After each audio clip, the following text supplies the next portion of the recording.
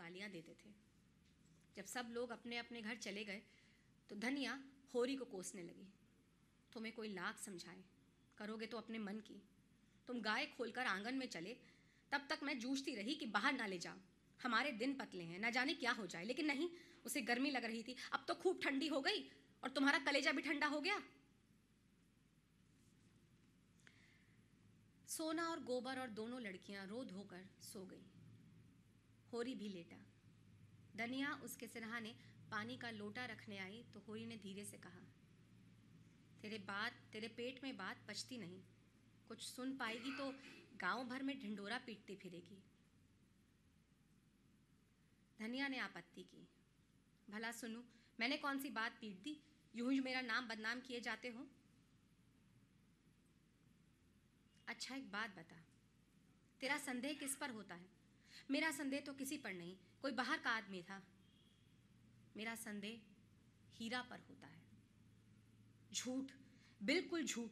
हीरा इतना नीच नहीं है, वो मुख का ही खराब है।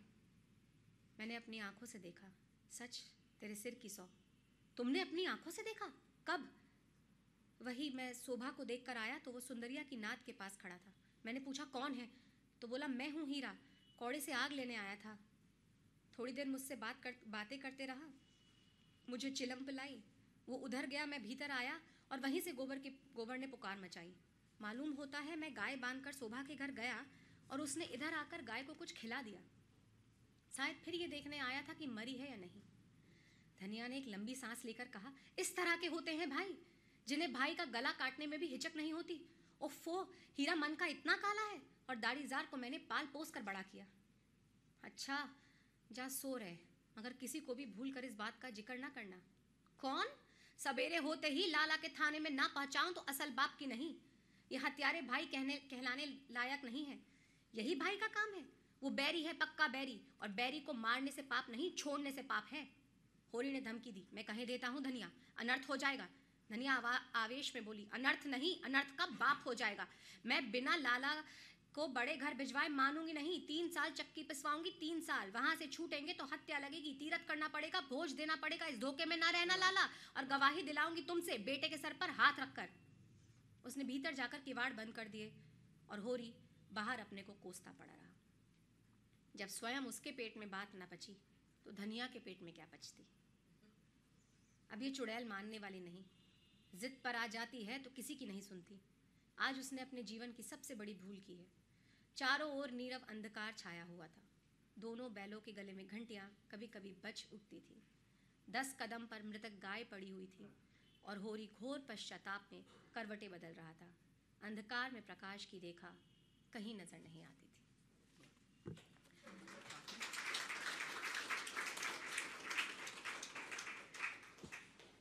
तो हाँ लास्ट पढ़ देती हूँ। इसके बाद ये होता है कि आ, जो झुनिया है जो आ, इसका गोबर था और झुनिया का जो अफेयर था तो वेडलॉक से अभी झुनिया जो है वो प्रेग्नेंट हो गई है उसकी शादी नहीं हुई है। और कैसे वो घर में आ गई है और कैसे धनिया एकदम पहले तो मना करती है कि मैं इस जुनिया को रखूँगी नहीं क्योंकि ये तो एकदम रांड है बद जलन है ऐसा बहुत लड़ाई करती है लेकिन जैसे उसको रोते हुए देखती है उसके मन में ममता आ जाती है और जुनिया को रख लेती है। तो एक वो भी एक दिखाया है कि किस तरह से she you know is a fighter and उसके बाद अंत में आते आते काफ़ी बूढ़ा हो गया है होरी और जुनिया भी। और ये दिखाया है कि होरी जिसने गाय मारी जिसने गाय को जहर दिया कैसे वो वापस आता है और अपने भाई से माफ़ी माँगता है और वो मान लेता है कि मैंने ही आ, तेरी गाय को मारा है। वो हम नहीं पढ़ेंगे हम तुरंत से लास्ट क्वेश्चन पे आते हैं जो मेन पार्ट है हमारे गोदान का। अब आ, गोबर और झुनिया का बेटा हो गया है जिसका नाम रख दिया है मंगल मिलते ही सबसे पहले गाय लूँगा। अब भी होरी के मन में यही बात है। मंगल अब उसका पोता था और उसका ला, लालन पोषण के लिए गाय का होना और गाय का दूध का होना ज़रूरी था। मगर रुपए कहाँ से आए? संयोग से उसी दिन एक ठेकेदार ने सड़क के लिए गाँव के ऊपर में कंकड़ की खुदाई शुरू करी। हीरा ने सुना तो चटपट वहाँ जा पहुँचा और आठ आने रोज पर खुदाई करने लगा। वही बात जो सर ने कही कि किसान के मजदूर बनने की कहानी तब उसका लैंड उसके साथ से चला गया है, उसका खेत खलियान सब चला गया है, और अब वो मजदूर बन गया है, वो मजदूरी करता है। और वो खुदाई करने लगा। मगर ये काम दो महीने भी टिक गया तो गाय तो गाय भर का रुपया मिल जाएगा। दिन भर लू और धूप में काम करने के बाद वो घर आता तो बिल्कुल भरा हुआ। अवसाद का नाम नहीं। उसी उल्लास से दूसरे दिन काम करने जाता। रात को भी खाना खाकर डिब्बी के सामने बैठ जाता और सुतली काटता। कहीं बारह एक बजे सोने जाता। धनिया भी पगला गई थी। उसे इतनी मेहनत करने से रोकने के बदले खुद उसके साथ बैठी बैठी सुतली काटती। गाय तो लेनी ही है।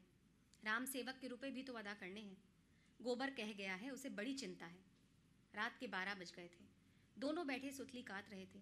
धनिया ने कहा, तुम्हें नींद आती है तो जाके सो जाओ। भोरे फिर तुम्हें काम पर जाना है। होरी ने आसमान की ओर देखा और कहा, चला जाऊँगा।